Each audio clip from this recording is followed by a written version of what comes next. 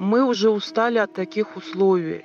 Жара, ветер, дождь. Это, это уже устали и морально, и физически. Дети переносят очень с трудом. Вы сами понимаете, да, пустыня. Жарко очень. Мы хотим домой. У меня четверо детей. Э, Двое из них, э, старшие мои дети, они больные. У меня сын аутист, ему 10 лет. Дочка слепнет на один глаз. Я сама, я сама, у меня у самой искривление позвоночника. Положение у нас очень тяжелое. Я с лагеря Альхоль. У меня болел сильно сын. Семь, семь дней у него была очень высокая температура. У нас тут очень сильный грипп. Медикаментов у нас нету. Я хочу, чтобы мои дети не оставались здесь. Если не- я умру, я не хочу, чтобы мои дети тут оставались. И тут нету никаких условий для жизни. Щойно ви почули кілька повідомлень із тієї незліченої кількості, які приходили нам з Альоною у месенджери останні кілька місяців. Їх записують українки у тюремних таборах для біженців на території Сирії. Як вони до нас потрапили окрема історія. Ми з Альоною зайнялися цією темою влітку. Тоді, по суті, вперше почули, що у Сирії у підконтрольних курдам таборах є українки. Цього літа я працювала з нашим другом і колегою з Польщі Павелом Поньончиком. Ми готували цикл матеріалів про сліди ісламської держави в Україні і довго шукали людину, яка би не переповідала чужі байки, а була би справді в темі і погодилася би розповісти про себе. Таким чином, через кілька рукостискань ми познайомилися з дуже цікавим героєм. Муса, будемо називати цього чоловіка так, свого часу воював у Сирії. Його історія в певних моментах унікальна. Тобто, мене, як людину, котра вже певний час цікавиться темою релігійного радикалізму, вона неабияк захопила. Думаю, детальніше ми розповімо про Мусу в інших серіях. Зараз хіба тільки скажу, що він був знайомий із е, Тарханом Батарашвілі, а це грузин, який став військовим міністром ісламської держави, і третім найдорожчим у світі міжнародним терористом. І ще Моса був свідком моменту становлення ісламської держави, як ми її знаємо тепер, коли вона поширила свій вплив на територію Сирії. Словом, Муса погодився поділитися інформацією в обмін на нашу обіцянку розібратися в історії українок в сирійських таборах Аль-Хол і Рош. Це було щось на зразок вічливого ми можемо стати в нагоді один одному. Ми почали розкопувати деталі, зв'язалися з жінками у таборах, їхніми родичами в Україні і усьому світі. Прикметно, що ця історія стала публічною зовсім недавно. Фактично, вперше вголос про проблему заговорили на початку жовтня 2020-го. Саме тоді родичі цих жінок, яких задовбали типові чиновницькі відписки, пішли в Абанк. Вони з'їхалися у Київ, де зібрали прес-конференцію для столичних журналістів та розповіли про своїх рідних. В одних у таборі доньки з внуками, у інших сестра або племінниця. І чим більше таких історій ми почули, чим ретельніше досліджували обставини, нюанси і мотиви, тим чіткіше кристалізувалося розуміння, що цю проблему потрібно озвучити і проговорити. Протягом двох місяців ми будемо розповідати неймовірну, майже кінематографічну, проте цілком реальну історію українок, які за різних обставин та з різних причин потрапили на підконтрольні ісламській державі території. Ці жінки зуміли вижити під владою найжахливішої терористичної організації світу. Деяким з них пощастило втекти, іншим пережити війну, холод, голод, обстріли та авіаудари. Усі вони зрештою потрапили у табори для біженців Альхол і Рош на північному сході Сирії. Звідти вони надсилали сигнал СОС додому. Мене звати Тарас Ібрагімов, Я Альона Савчук. і це подкаст на межі.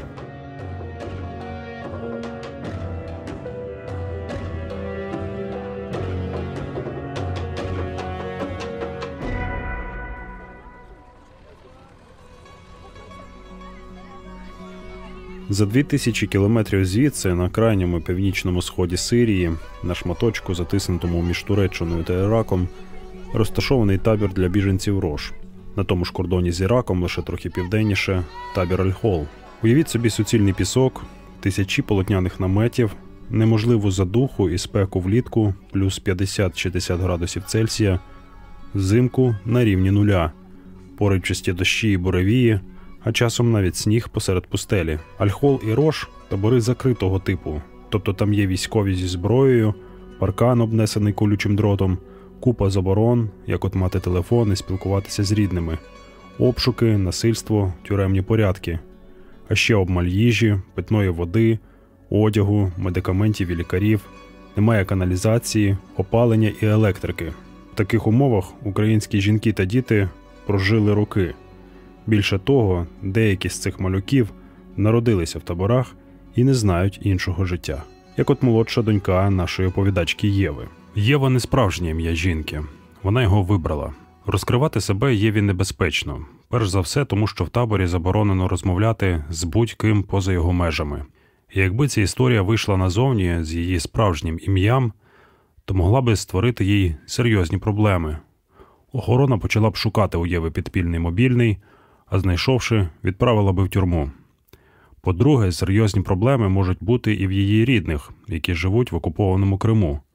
ФСБ відразу заведе проти Єви кримінальну справу за тероризм, приходитиме з обшуками до її батьків і тягатиме їх на допити. Тому вона вибрала собі інше ім'я. Єва молода жінка трохи за 30, з вищою медичною освітою, зі світської кримсько-татарської сім'ї, мати двох доньок. Словом, звичайна собі людина. Як за таких вихідних умов Єва потрапила в жахливий вир подій, розповімо трохи згодом. А поки що про її життя у таборі. Сім'я Єви живе у звичайному наметі. Табірне житло це намети з тканини розміром 4 на 5 метрів. Це літній варіант. Є ще зимовий, цупкий, просякнутий вологовідштовхуючою рідиною. В теорії кожній сім'ї щороку виділяють один літній і один зимовий намет, бо за сезон під палючим сонцем пустелі або зливами і буравіями вони зношуються. Проте насправді усе не так, і багатьом доводиться утеплювати свої літні благенькі домівки і жити у них роками. Ось як про це розповідають самі українки. Когда нас только сюда привезли, условия были не очень хорошие. Год я жила в старой заплесневевшей палатке. Вообще, по идее, палатки выдаются, но э, получают их в основном пробивные или арабоговорящие, потому что к арабоговорящим здесь все равно э, другое отношение. Там э, египтян с Египта, с э, Саудии, с Тунисийки. Э, вот они могут по две, по три палатки получить э, два-три раза в год. Э, И вот тунисийки, они успевают и там, и там получить, и взять, и потом эти же палатки продают за 150 долларов старые. А новые пока даже не знаю, по какие будут цены. Це була розповідь Оксани. Її ім'я ми також змінили з міркувань безпеки. Далі говорить Єва. Жилье, палатка, обычная палатка. М, Ну, делаем много слоев на нее. Старые палатки накидываем, чадры накидываем, потому что летом жить невозможно. Это знойная жара, 45-50 градусов, а зимой очень холодно. То есть утепляем, укрепляем, строим дворы. Сейчас я строю двор, а, цементирую. Надо все затянуть, натянуть, засыпать, потому что здесь страшные ураганы. Я не знаю, такие ураганы нигде не видела. Когда ты живешь в каменном доме, ты эт- этот ветер не чувствуешь. Но когда ты живешь в этой палатке, я не знаю, она, и такое ощущение, как будто ты взле- взлетишь вместе с ней сейчас. То есть в ноябре начинается сезон дождей, ураганов, и вот в течение полугода это не прекращается. Прошлой зимой вообще выпал с- сильный снегопад был, мы удивились, такое в Сирии не бывало никогда. Переохолодження часта причина смерті в таборі взимку. В таких умовах Єві доводиться дбати не лише про себе, а й про дітей. Щовечора жінка закутує своїх доньок у найтепліші речі, а вранці першим ділом перевіряє, як вони пережили ніч. Далі знову розповідь Оксани. Попробуйте прожить в ткани или в клеенке, которая зимней, например, они же прорезиненные палатки, конденсат весь собирается, это сырость в палатке стоит, если э, палатку не отапливаешь, а чтобы отапливать, надо покупать керосин, на это нужны деньги. И э, керосин тоже э, очень даже не дешевый. Э, Что, ну, а если ты, например, палатку не просушиваешь, не прогреваешь, э, то дышишь просто влагой постоянной, влага, которая течет на тебя, как дождь капает, все сверху собирается и на тебя капает. Также от холода очень многие умирают, бывает э, засыпает, утром просыпается ребенок мертвый. И когда идешь, бежишь, кричишь, что ребенок там или при смерти, или вот он говорит, а, смотрит, говорит, а ничего страшного, одни больше, одни меньше, подумаешь. Никто э, за это не переживает. Матери сидять, не спять і ночами, і днями. Єва з доньками зустріли в постелі вже четверту зиму. Усе життя сім'ї зосереджене в наметі. У 20 квадратних метрах вони і сплять, і навчаються, і граються, і миються, і готують їжу. Хоча їжею це можна назвати з натяжкою. Що є, тим дітей і годуєш. Зовсім базовий набір продуктів роздають міжнародні гуманітарні організації Червоний Хрест і ЮНІСЕФ. Насчет еды. Э, Ежемесячно ЮНИСЕФ выдает э, гуманитарную помощь. Так, там они дают сахар, э, подсолнечное масло, чечевицу, рис, горох, выдают бытовую химию. Но мы это все за месяц не успеваем употребить и перепродаем иракцам. Но они за копейки это все покупают. Масло, которое они в городе продают за 5000, здесь они у нас покупают за 800 лир. То есть э, наценки очень крупные. Здесь нам за это все копейки дают. Сахар, соль, э, нут сырой, который очень долго варится, соответственно, очень много керосина на него уходит. Поэтому его в основном никто не варит, его или там же на месте оставляют, или просто детям дают играться. Он везде валяется, сейчас дожди пошли, все воняет, как в курятнике, не знаю. Потом выдают красную чечевицу, часто она бывает уже э, старой. Запаха нет, но когда ее ешь, животы очень сильно болят, и поносы не, не заканчиваются у детей. Поэтому чечевицу тоже берем, но стараемся ее очень редко готовить. А потом булгур. Булгур это ячмень, ну как бы почищенный, очищенный ячмень. От ячменя тоже вздувает, вздува, вздуваются животы но э, как бы выхода особо нет. И рис, рис очень плохого качества, очень. Самый, вот я не знаю, самый плохой такой, поломанный весь, очищенный, там, ужасный. Ну, вот, который варить мало кто умеет, в основном у всех он хрустит, сколько бы ты воды бы туда не налил, и как долго бы ты не варил, он хрустит. Его надо уметь готовить, мало кто умеет такой рис готовить. Але погана їжа це ще півбіди. І для її приготування, і для обігріву намету жінки користуються невеликими гасовими пальниками. Вони їх називають собами або бобурами. Для Єви це найстрашніша річ в таборі взимку, без якої, однак, не проживеш. Це дуже небезпечна штука. По-перше, бо газ або по-простому керосин, легкозаймиста рідина, по-друге, пальники, які роздають жінкам, зібрані аби як. Звідси в таборі часті пожежі з трагічними наслідками розповідає Єва. Вот с ноября по апрель здесь идут дожди, постоянные ливни, ураганы и холодно. Они выдают нам собы керосиновые. Вот это наша самая страшная, я не знаю, мы очень все их боимся. Это очень страшная вещь, это керосиновая соба. Когда ты живешь в этой, в этой тряпке, да, кусок тряпки, который сгорает за считанные секунды, здесь очень часто бывают пожары зимой. Это, это просто страшно. Вот это, наверное, вот сейчас просто я об этом забыла вам сказать, потому что лето спокойно, тихо, эти собы далеко где-то там спрятаны в коробках. Но нам в скором времени придется их достать. А, я не знаю, я, вот это, я уже здесь буду жить э, четвертую зиму, готовлю палатку к четвертой зиме. Это моя головная боль и боль в сердце. Не знаю, я, я в 6 месяцев ощущаю постоянно боль в сердце из-за того, что я переживаю за этой собой частые пожары, на наши глаза горят дети, женщины. Эти палатки не успевают тушить, огонь перекидывается на, на соседние палатки. Это просто какой-то кошмар. Если это своими глазами не видеть, это, конечно, конечно, не понять. Эта тряпка, в которой мы живем, она просто за считанные секунды горит. Нам выдают на 4-5 палаток этот э, огнетушитель. Но пока его найдут, пока прибегут, пока его откроют там все необходимое сделают, уже палатка сгорает. Схожа історія трапилася зі знайомою Оксани. В прошлом году моя близкая знакомая э, просто пошла, у нее бабур забился, она пошла, поменяла. Бабур это как э, типа газовые плиты, но керосиновые, на нем, на нем мы готовим. пошла, ей поменяли э, там какие-то запчасти, детали. Она пришла домой, зажгла, а они поменяли, но они воздух не пропустили, не выпустили воздух. Нету? Хорошо, сладкий. И они этот э, зажгла бабур, он э, сразу загорела стенка.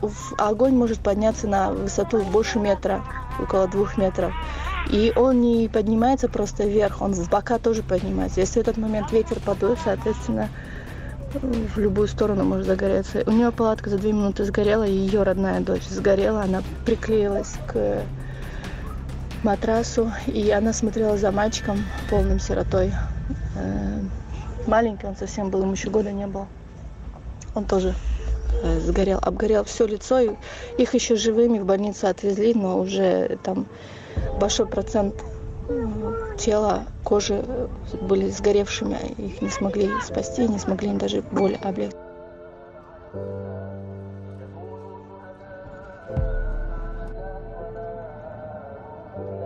Альхол це суцільні намети. Тисячі наметів, розбитих рядами і секторами, обнесених колючим дротом з озброєною охороною. Табір розрахований на 11-12 тисяч людей, але сьогодні він переповнений в рази. Там утримують близько 65 тисяч біженців. Більше половини з цих 65 тисяч малолітні діти. Табір ділиться на сектори і частини з різними мешканцями і умовами. Опять же, э, есть два лагеря в, х- в холле здесь. Один лагерь, э, где живут сирийцы и иракцы. Там совершенно другая обстановка. Там живут семьями, мужья, жены, родители, бабушки, дедушки. Э, Мужчины обеспечивают, строят, там, утепляют, все делают. Да. Эм, к- э, Им р- разрешено свободное передвижение. Мужчины вообще могут выезжать на машинах, заниматься торговлей. Вот э, как раз наши продавцы, которые у нас в лагере продают, это как раз жители сирийско-иракского лагеря. Окрему частину табору займають жінки, які залишилися вірними ідеям псевдохаліфату. Вони і досі чекають відродження ісламської держави. На їхній території притримуються законів, які терористи запроваджували на захоплених землях. А за порушення правил такі жінки карають спаленням намету, каліцтвами і смертю. Тих жінок, які не з ними, вони вважають віровідступницями. До таких зараховують і Єву, і інших українок. Охорона табору побоюється радикалізованих жінок і зайвий раз не заходить на їхню територію. Там можуть напасти навіть на озброєних людей.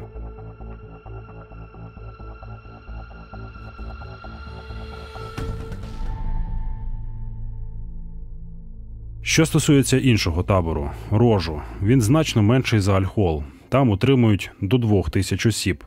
Побутові умови, принаймні в старій частині табору, кращі, але нагляд значно жорсткіший. Комендантська година, сувора заборона на закрите обличчя, довгий одяг та чорний колір.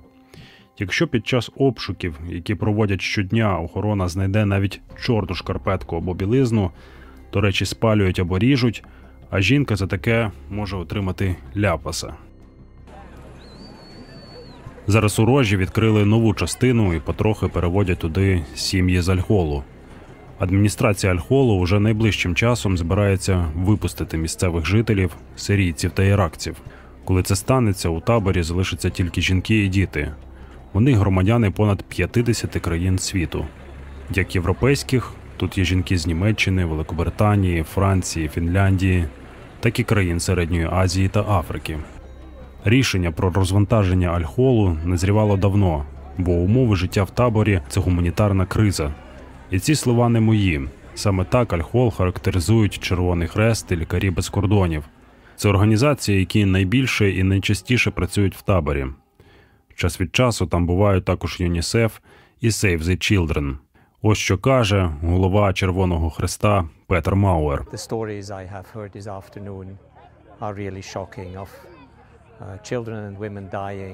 Історії, які я почув сьогодні, справді шокують. Історії дітей та жінок, котрі помирають у великій кількості через усі труднощі. Дуже складно бачити і розуміти, що ці жінки та діти були в самому епіцентрі війни, втекли від побоїща, були серйозно поранені. Найважче бачити стількох дітей-сиріт віком від 2, 3 до 5 років, які втратили батьків та матерів.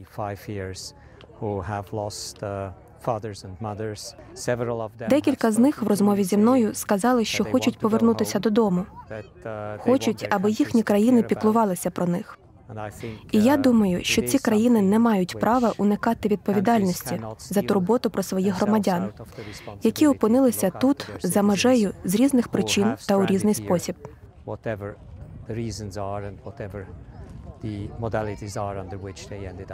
Міжнародна організація Rights and Security International пішла ще далі.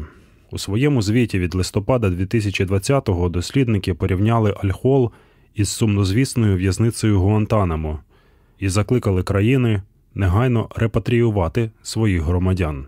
Right now, hundreds of European women and children Прямо зараз сотні європейських жінок та дітей незаконно ув'язнені в таборах у північній частині Сирії через їхні нібито зв'язки з ісламською державою. Більшість ув'язаних дітей не досягли і п'яти років. Цим жінкам та дітям не пред'явили звинувачень у жодному злочині, а їхні уряди відмовляють їм у законних правах та захисті. Подібно ув'язненим свого часу в таборі Гуантанамо чоловікам. Ці жінки та діти потрапили у юридичну чорну діру і затримані на невизначений срок. І ми на власному досвіді переконалися, що умови, в яких вони живуть, негуманні. Табір це повна антисанітарія. Повсюду гори сміття, тут немає проточної води, опалення чи електрики. Далі розповідає Мер'єм. Її ім'я ми також змінили з міркувань безпеки. лагеря розвилось дуже велике кількість собак. Их так много, что нам кажется, что их даже скоро будет больше, чем женщин. Собаки берут э, из мусорки памперсы, разрывают их и растаскивают по всему лагерю. Ты можешь проснуться, выйти, и прямо на твоем пороге будет разорванный памперс с внутренними эм, содержимым. На территории лагеря очень сильная антисанитария, и поэтому хотелось бы, чтобы дети были сидели в палатке, но это невозможно при такой жаре, при таких размерах комнаты. И получается, дети мешают, даже если ты готовишь или что-то хочешь убраться. Приходится детям выходить на улицу, а там, как правило, сильная антисанитария, э, невоспитанность. Правило такое общество ничему хорошим дітей не учить. Виходити на вулицю доводиться часто, передусім за водою та їжею. Єва розповідає, що старається розбавити прісну і одноманітну їжу хоча б якимись продуктами з ринку. І в таборі Альхол, і в рожі є маленькі продуктові ринки, але для жінок, у яких немає постійного доходу, ціни там часто захмарні. Хоча по факту вони не сильно відрізняються від цін у супермаркеті. Остальное, такие, э, остальное, например, овощи, фрукты нам приходится покупать. Продают, конечно, в три раза дороже, чем в Хасака. Какие расценки в лагере? Расценки в лагере сумасшедшие, выше дубайских. Очень дорого все. Жить очень тяжело. До слова про воду, без якої ніяк. Її, хоч і можна купити на ринку, проте на всі потреби, тим більше влітку, в умовах пустелі, води не напасешся. Виходить дуже дорого. Тому для миття посуду, купання, прибирання, часом і для готовки Єва, як і інші жінки, користується тією, яку привозять централізовано у табір. Розповідають Оксана та Мар'єм. Воду привозят машины, водовозы, привозят в большие такие баки. И потом из этих баков набираешь. Летом вообще драки были за эту воду. Очень тяжело было ее доставать, потому что мало заливали, много воды, воды тратилось. И, короче, проблемы были. И военные тоже не пускали водовозы иногда. Поэтому сейчас легче с водой. Таскаем дома, а дома уже все там стираем, моем. Там. Просто проблема в том, что мы живем в пустыне. В пустыне много пыли. Сейчас дожди, слякоть. А так в основном пыль. И каждый день в день надо минимум один раз надо мыть все. Посуда, полы, там вытрушивать все, потому что хочешь не хочешь, а все будет в пыли. Как-то в пыли не очень приятно жить. Есть бочки, в которые завозится питьевая вода, но некоторые позволяют себе купить на рынке питьевую воду в баклажках, бутылированную воду пьют. э, а, это упаковка воды стоит 1 доллар. Так как в этих, эти бочки, э, они не чистые, иногда даже находили там шприцы, э, фекалий так далее, поэтому мы боимся пить воду из бочек. У многих заметились проблеми з почками із-за цієї бочкової води, яку завозять. Окрім ринку продуктів, у таборах є ще невеликі секонд-хенди. Це єдине місце, де можна купити речі по сезону і утеплення для наметів. Але якщо пощастить, каже Єва, бо вибір вкрай обмежений. На весь лагерь тут единственная барахолка, так называемая секонд-хенд. Очень сложно в, плане хорошей качественной одежды. Одна единственная, все магазины держат э, сирийцы ирак. Я говорила или нет, не помню уже, но с одеждой тяжеловато, дорого и качество низкое, все поношенное. А если что-то пошить из штапеля, опять же, ну, дорого. Ну, стараемся, что-то находим, что-то шьем, голые не ходим. Складна ситуація з теплим одягом і наметами у новій частині табору Рош. Туди цього літа і осені примусово перевели три українські сім'ї. Їх підняли посеред ночі, а забрати з собою одяг і інші речі не дозволили.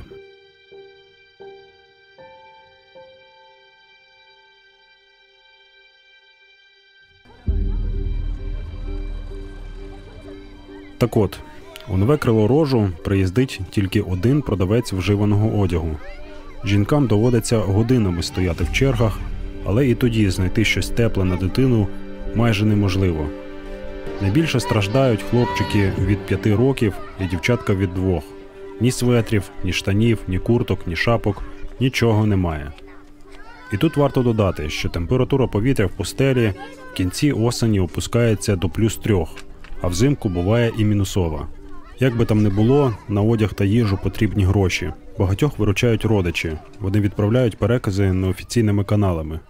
Але, по-перше, в деяких країнах, зокрема у Росії, за таке судять і дають кілька років тюрми за статтею про фінансування тероризму. А по-друге, доводиться платити посередникам. Вони забирають десь 20 доларів зі 100. Тому жінки стараються десь підзаробити самостійно. Могут ли они здесь зарабатывать? Ну, как э, торговля или какие-то услуги, например, э, преподавать, учить детей, или детский садик, или там шьют, вяжут, или, например, торговля, готовят, кушать, продают, там хлеб пекут, или там сладости всякие, тортики, эклеры, там булочки, там, или там шаурму готовят. Ну вот, да, в основном либо торговля, ну, либо предоставление каких-либо услуг. Но опять же, пробиться, например, в торговлю не так просто. Это надо э, уметь с продавцами договариваться или уметь продавати. Це в Альхолі. А от у рожі немісцевим жінкам взагалі не дозволяють займатися торгівлею. Ясно, що і в умовах зимової холодриги і літньої задухи постійного напівголоду, коли їжі вистачає хіба на те, щоб вижити, але ніяк не підживити організм вітамінами, жінки і діти постійно хворіють від банальної нежиті до тяжких хвороб менінгіту, туберкульозу, пневмонії.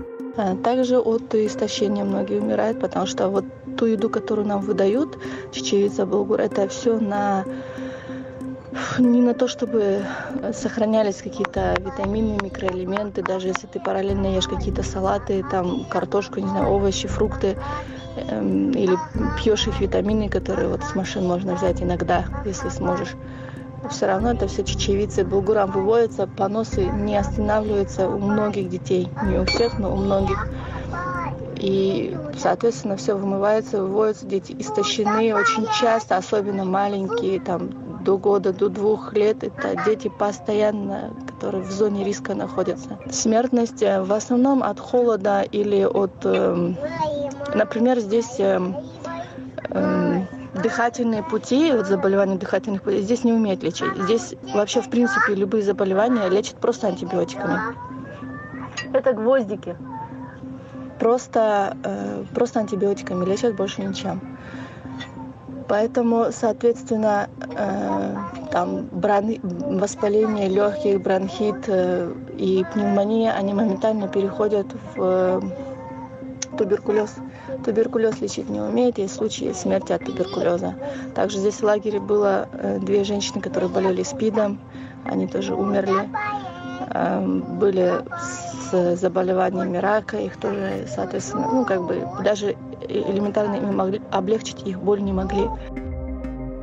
А тут уже э, возле лагеря образовалось такое кладбище. Умирают и пожилые, и дети. Фатима просила мне его сфотографировать, но это не, нереально, это невозможно. Я так не могу рисковать. Я телефон прячу постоянно, я его из палатки не выношу и даже не говорю никому о нем. Это очень опасно, я не могу сделать фото этого кладбища, к сожалению.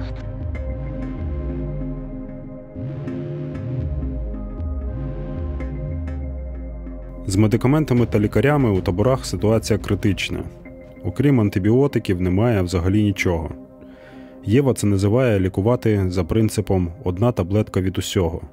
Немає у таборі і лікарні у звичному для нас розумінні. Усе, на що можуть розраховувати жінки і діти, які приходять туди, це огляд, виміряти температуру тіла і кров'яний тиск.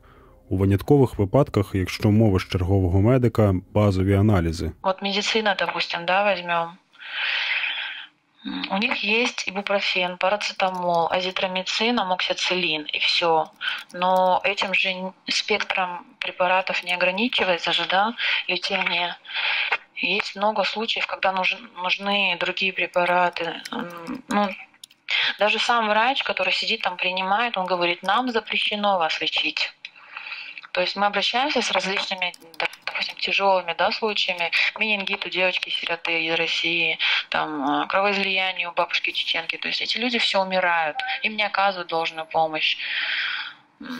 Ибупрофен от всех болячек что не болит, какая у тебя, какой у тебя нет жалобы, пломба, которую ставит дантист, через пол месяца падает ну, очень на низком уровне все. Или у них не, или вот у них, или все практиканты, такое ощущение, или все уехали, врачи опытные, или же они действительно не хотят нас лечить, им запрещено. Или все это вместе взятое. У них практиканты тут у нас практикуются, и лечить они нас не хотят. Очень с медициной опасно. То есть какой-то легкий случай, там легкий кашель, температуру можно да, полечить, а не дай Аллах, что-то серьезное, это проблема для нас. То есть на, на грани жизни и смерти. Больница есть за воротами, туда выбраться тоже не так-то просто, но реально. Есть внутри здесь тоже больница, но там и медикаментов, и условий очень мало всего. Э, есть еще норвежская клиника, но э, туда вообще практически для нас практически нереально выбраться. Так, а так приезжают еще машины с э, медикаментами. И, но там в основном есть антибиотики, амоксициллин, есть парацетамол, бупрофен, э, бывают витамины. Долгое время их не было, сейчас появились. А, например, капли в нос, там какие-то еще другие лекарства практически нереально достать. Метронидозол еще бывает от поноса. А так, в принципе, больше особо и нет лекарств.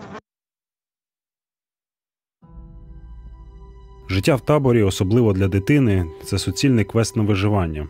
Якщо шлунок переварить поганий рис або сочовицю, і ти не помреш від проносу і зневоднення, менінгіту, холоду, спеки, пожежі, то на тобі ще один челендж це небезпека, яка підстерігає тебе скрізь і завжди. Мова про насильство як фізичне, так і психологічне. Діти часто стають жертвами бійок та необережності озброєних людей.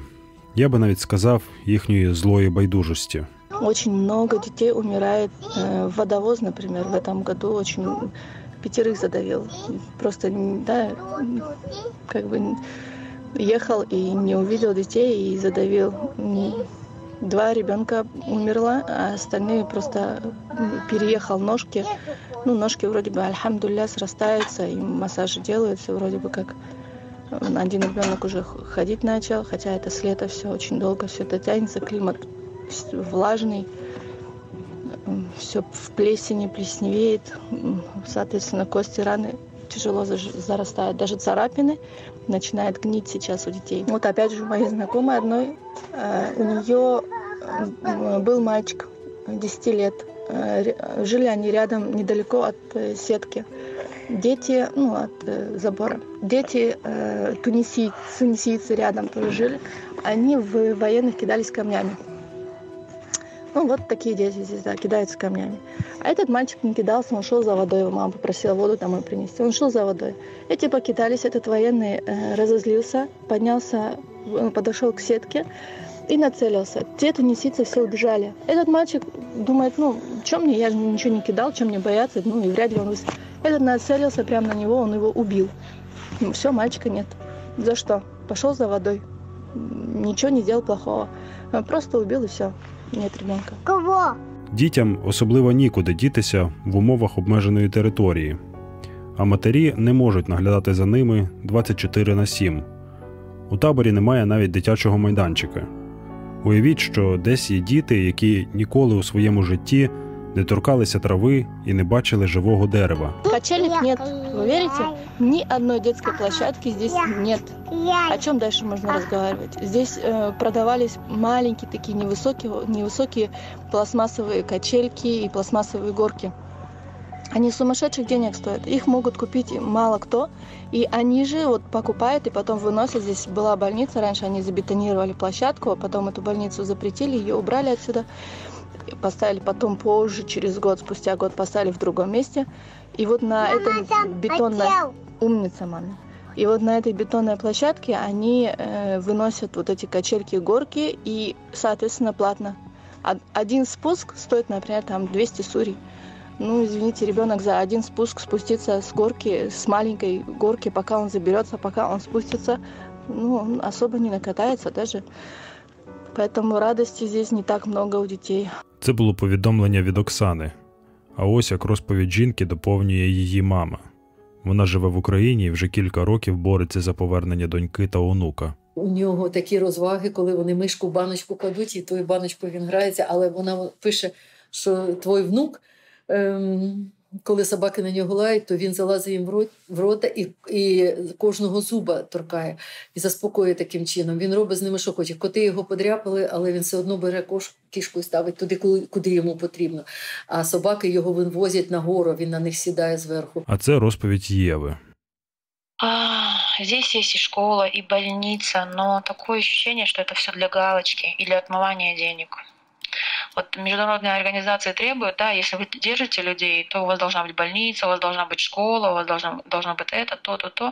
То есть для отчетности у них это есть в документах, но это не функционирует должным образом. За порядком у таборі наглядають озброєні військові. Їхнє слово єдиний закон в Альхолі та рожі.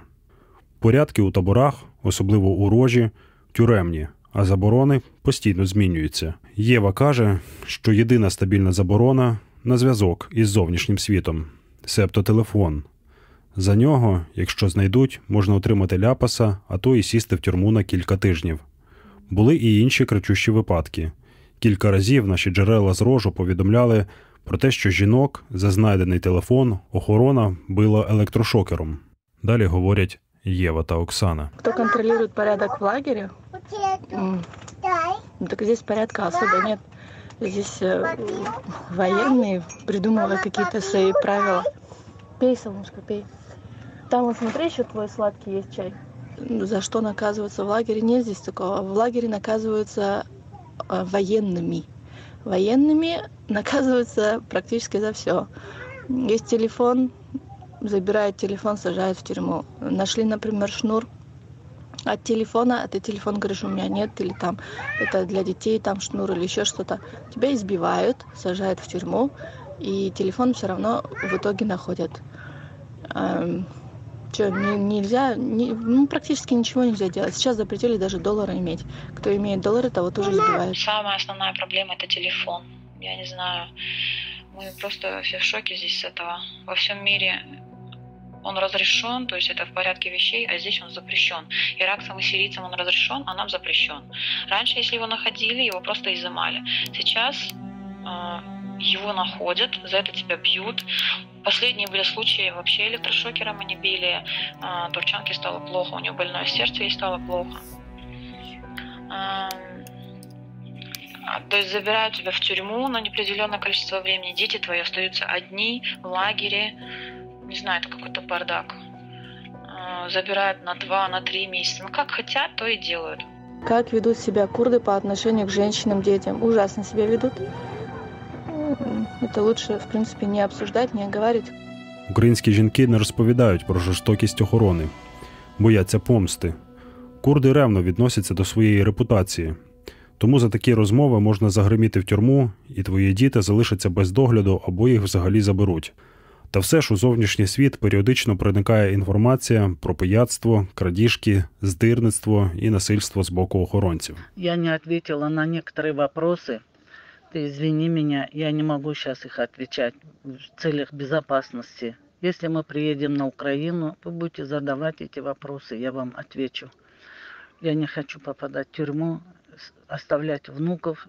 Их могут забрать в детдом. Я боюсь. Извините.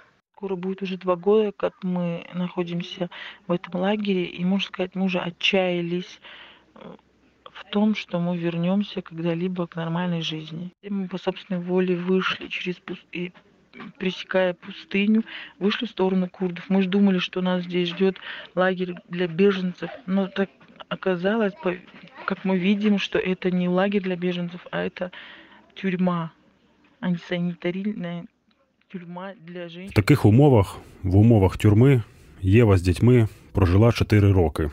Вона каже, що за цей час переосмислила і проаналізувала увесь ланцюжок рішень, які привели її у це місце. І сподівається, що її діти отримують шанс зростати в безпеці.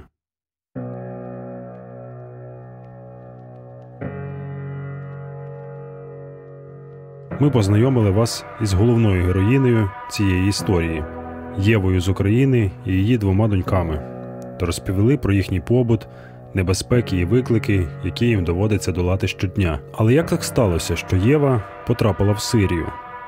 Чому громадянська війна в цій країні, яка продовжується ось уже 10 років, і досі приваблює мусульман з усіх куточків землі? І чим вона настільки особлива, що породила найжорстокішу терористичну організацію світу? Про це в наступному епізоді.